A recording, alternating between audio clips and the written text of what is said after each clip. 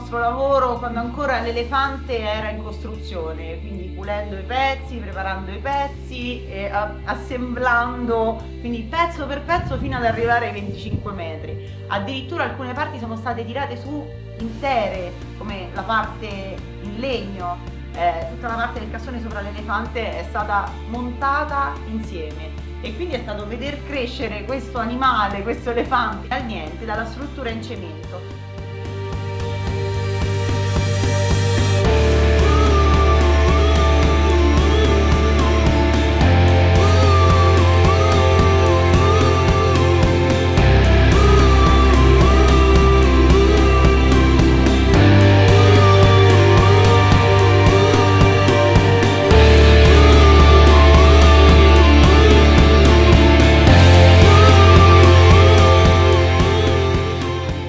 Quando mi hanno proposto il progetto del parco il mio primo pensiero è stato quello di e adesso che faccio?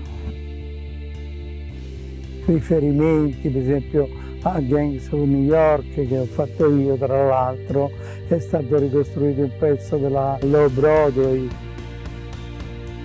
e poi una testa di Cabiria con queste mani così aperte che in qualche maniera ti invita ad entrare, ecco, ad entrare e a vedere tutto quello che c'è dentro, l'area bambini, c'è tutta quanta l'area uh, della vecchia Roma, c'è ristoranti, ci sono i teatri di posa, dentro i teatri di posa ci saranno degli spettacoli, non vedo l'ora che si apra il Cinecittà World e che sia visitata da tanta, tanta, tanta gente. E insomma che sia un punto di attrazione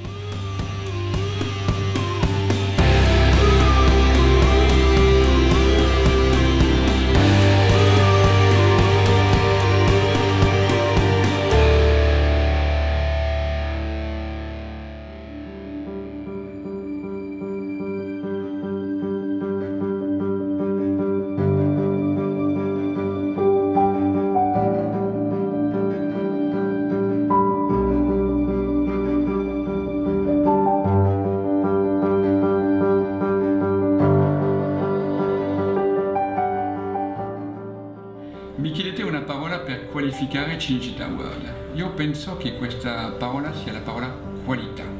Siamo entrati nei minimi particolari della qualità. Penso alle scenografie e alle arredi di Dante Ferretti. Qualità della restaurazione. Penso alla qualità dei spettacoli e dei show penso anche alla qualità del verde e dell'ecosistema e penso soprattutto alla qualità delle attrazioni di questo parco. Vorrei dedicare questo parco a tutti quelli che hanno lavorato su questo cantiere.